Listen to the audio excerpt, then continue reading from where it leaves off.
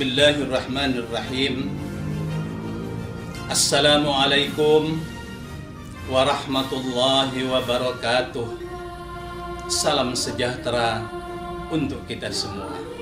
Kita harus selalu menyadari dan mensyukuri Bahwa kemerdekaan yang kita nikmati selama ini Adalah atas berkat rahmat Allah yang Maha Kuasa Tuhan yang Maha Esa yang telah meridhoi perjuangan dan pengorbanan luar biasa dari pahlawan ke semua bangsa dalam merebut dan mempertahankan kemerdekaan negara kesatuan Republik Indonesia ini.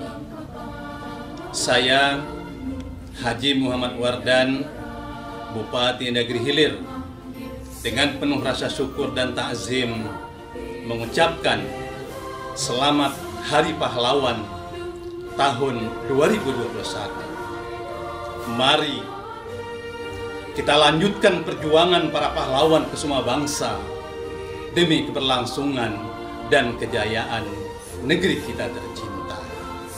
Pahlawanku, inspirasiku. Terima kasih.